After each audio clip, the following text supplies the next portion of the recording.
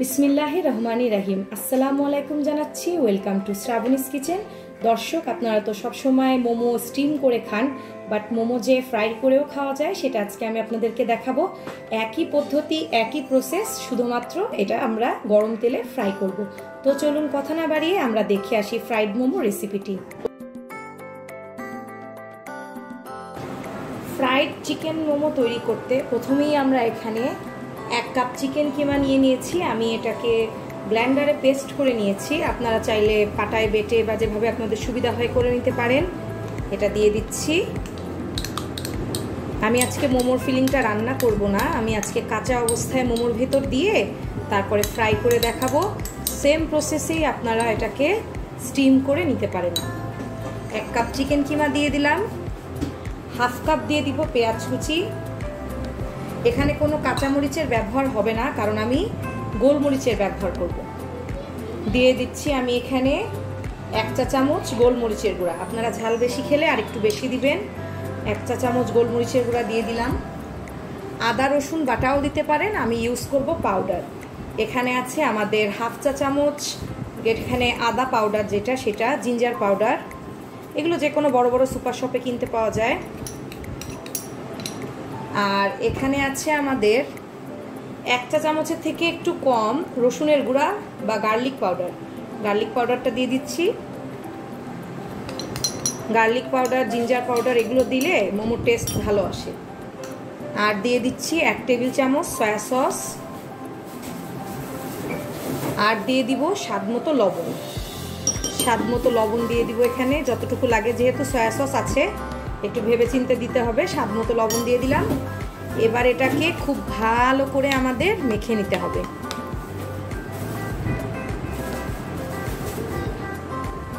এখানে আছে আমাদের মোমো শিট, এগুলো রেডিমেড মোমো শিট। এগুলো কিনতে পাওয়া যায়, আপনারা যদি খুঁজে না পান, আমি তাহলে ডিসক্রিপশন বক্সে লিঙ্ক দিয়ে দিব যে কোথা থেকে কিনেছি। এখন এগুলো আমরা নর্মাল ডিপ ফ্রিজে রাখতে হয়। ডিপ ফ্রিজ থেকে এক ঘণ্টা আগে বের করে রেখেছি এবং এগুলো আপনা আপনি এরকম সুন্দর মতো খুলে আসবে। এখন একটা করে শীট আমরা নিব। শীটটা নেওয়ার পরে আমরা পরিমাণ মতো ফিলিং শীটের এক কর্নারে দিয়ে দিচ্ছি। যে কোনো এক পাশে দিতে হবে। আপনি যেরকম মোমোর শেপ বানাতে চান, সেভাবে বানাবেন। আমি রেগুলার যে শেপটা বানাই, ওইটাই বানাবো। দিলাম। এবার এখান থেকে এটা কিন্তু পানি হ্যাঁ? এটা সাধারণ সাদা পানি। এটা আমরা এই সাইড দিয়ে লাগিয়ে দিচ্ছি। সাইড দিয়ে লাগিয়ে মুখটা এভাবে বন্ধ করে দেব। পুলি পিঠা যেরকম হয়, আমি সেই একই রকম শেপ দেওয়ার ট্রাই করি। তারপরে কর্নারে একটু পানি দিব।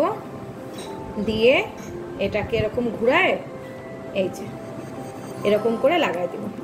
এই মোমোর সেম ডিজাইনের আমার চ্যানেলে আরও রেসিপি আছে। সো ডিজাইন বুঝতে না পারলে ওইটাও দেখে নিতে পারেন। আবার আরেকটা দেখিয়ে দিচ্ছি। এখান থেকে একটু ফিলিং নিয়ে কর্নারে দিব। এবার পানি দিয়ে দিচ্ছি সাইড দিয়ে, যাতে এটা আঠার কাজ করে। একটু বেশি করেই দিতে হবে, যাতে লাগে ভালো মতো। এবার এটাকে লাগিয়ে দিব। কর্নারে একটু পানি দিয়ে দিব, দুই কর্নারে দিয়ে এরকম করে ঘুরায়। এই, একটু টাইট করে দিবেন যাতে ভাজার সময় বা স্টিম করার সময় খুলে না যায়। এই একই জিনিস আপনারা ভেজেও খেতে পারবেন, আবার স্টিম করেও খেতে পারবেন, কোনো সমস্যা নেই, একই প্রসেসে করা যাবে। এই বাট এখানে একটা কথা বলে নেই, এখানে যেহেতু কাঁচা পেঁয়াজ দেয়া হয়েছে সো এটাকে কিন্তু সংরক্ষণ করা যাবে না। তাহলে কিন্তু গন্ধ হয়ে যাবে মাংসের ভেতরে। আপনারা যদি মাংস শুধু দিয়ে করেন, পেঁয়াজ ছাড়া, তাহলে আপনারা এভাবে বানিয়ে ডিপে সংরক্ষণ করতে পারবেন। দুই সপ্তাহ পর্যন্ত। কিন্তু যদি আপনারা পেঁয়াজ দিয়ে ফেলেন, তাহলে ডিপে রাখলে সেটা গন্ধ হয়ে যাবে। সো এই কথাটা মাথায় রাখবেন। সংরক্ষণ করতে হলে কাঁচা পেঁয়াজটা দিবেন না জাস্ট আপনারা মোমোর ইয়াটার করবেন, তৈরি করবেন এরকম, পেঁয়াজ ছাড়া। তো আমি এখন সবগুলো বানিয়ে নিয়ে ফিরে আসছি। আমাদের মোমো কিন্তু বানানো শেষ। আমি খুব বেশি এখন বানাইনি। এখানে তিন, চার, পাঁচ, ছয়, সাতটা বানিয়েছি আপনাদেরকে ভেজে দেখা, ভেজে দেখানোর জন্য। বাকিগুলো পরে বানাবো। এখন এখানে একটা ডিপ দেখে একটা প্যান দিয়ে দিয়েছি। আমরা এখানে এখন তেল গরম করতে দিয়ে দেবো। এটা কিন্তু ডুবো তেলে ভাজতে হবে। এই জন্য আমি একটা একটু ডিপ দেখে একটা প্যান দিয়েছি যাতে ডুবে থাকে। তেলটা গরম হওয়া পর্যন্ত আমরা একটু অপেক্ষা করি। তেল কিন্তু একদম গরম হয়ে গেছে। আমরা এখন আঁচটা কমিয়ে দিব।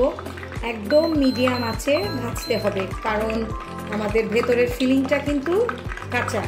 সো এখন আমি একটা একটা করে দিয়ে দিচ্ছি। একদম লো আছে, আপনারা ভাজবেন। একটু সময় নিয়ে ভাজতে হবে। একদম লো আছে। আপনাদের ভাজতে হবে। আপনারা যেভাবে ফ্রোজেন ফুডটা ভাজেন, ঠিক সেভাবেই ফ্রোজেন ফুডের ভেতরেও তো কাঁচা জিনিসই দেওয়া থাকে আসলে। ওরকম করে অল্প আছে। এখন আমরা এটাকে একদম হালকা আছে ভেজে নিব। যাতে আমাদের ভেতরের ফিলিংটা ভালো মতো সেদ্ধ হয়ে যায়। দর্শক, দেখতেই পাচ্ছেন, আমরা মোমোগুলোকে একদম অল্প আছে ভেজে নিচ্ছি। আর দেখেন কীরকম করে আমি উল্টা করে দিয়েছি, যাতে ভেতর থেকে ভাবটা গিয়ে ফিলিংটা ভালো মতো সেদ্ধ হয়ে যায়। কারণ ফিলিংটা যেহেতু কাঁচা, এটা সেদ্ধ হওয়াটা খুব জরুরি। আপনারা অল্প আছে একটু সময় নিয়ে ভাজবেন, তাহলে এই ফিলিংটা কিন্তু একদম ভালো মতো সেদ্ধ হয়ে যাবে। তো এটা ভাজতে আমাদের দশ থেকে পনেরো মিনিট টাইম তো লাগবেই, কারণ মাংস যেহেতু একটু টাইম নিবে সো এভাবে উল্টে পাল্টে সব পাশ দিয়ে একদম লালচে করে যতক্ষণ না পর্যন্ত সেদ্ধ হচ্ছে আপনাদের ভেজে নিতে হবে। আপনারা নিজেরাই টাইমটা বুঝে যাবেন, কারণ যেহেতু চিকেন সেদ্ধ হতে খুব বেশি টাইম লাগে না, তাও আবার ফার্মের মুরগি সো খুব বেশি টাইম লাগবে না, দশ মিনিটের ভেতরে হয়ে যাবে। প্রিয় দর্শক, দেখতেই পাচ্ছেন আমাদের মোমোগুলো কিন্তু খুব সুন্দর মতো ভাজা হয়ে গেছে। আর আমি বলেছিলাম যে দশ মিনিটের মতো টাইম লাগবে। আমি ঘড়ি দেখেছি, ঠিক দশ মিনিটের মতোই লেগেছে কিন্তু। আর আপনারা বুঝবেন কীভাবে যে ভেতরে ফিলিংটা সেদ্ধ হয়েছে, সেটা একটা ট্রিক শিখায় দেই। দেখেন, মোমোটা পেছন দিয়ে অনেকখানি এরকম ফুলে যাবে। ফুলে যাওয়া মানে হচ্ছে মাংসটা সেদ্ধ হয়ে গেছে। তো আমরা এখন এটাকে নামিয়ে নিয়ে পরিবেশন করে ফিরে আসছি। প্রিয় দর্শক, তৈরি হয়ে গেল আমাদের ফ্রাইড চিকেন মোমো। আপনারা দেখতেই পাচ্ছেন, আমি বলেছিলাম দশ মিনিটের মধ্যে ভাজা হয়ে যাবে। তো আমি একটু আপনাদের ভেঙে দেখাতে চাই যে আসলে ভেতরটা কেমন হলো দেখতে। একটু দেখে নেন যে ভেতরটা অনেক মচমচে। আর এই দেখেন মানে এত ক্রিস্পি ভেতরটা। এই দেখেন চিকেন একদম সেদ্ধ হয়ে গেছে। দেখতেই পাচ্ছেন নিশ্চয়ই যে চিকেনটা কিন্তু আমাদের একদম এই যে খুব ভালো মতো সেদ্ধ হয়ে গেছে সো চিকেন নিয়ে আপনাদের কোনো টেনশন করতে হবে না। তো আপনারা কিন্তু মোমো স্টিম করে খাওয়ার পাশাপাশি এরকম করে ফ্রাইড করেও খেতে পারেন। তো আজকে আমি আপনাদেরকে তৈরি করে দেখালাম ফ্রাইড চিকেন মোমো। রেসিপিটা ভালো লাগলে কিন্তু লাইক কমেন্ট সাবস্ক্রাইব করতে ভুলবেন না। তো দর্শক, আজকে এখানেই বিদায় নিচ্ছি। সবাই ভালো থাকুন, সুস্থ থাকুন সেফ থাকুন। আল্লাহ হাফেজ।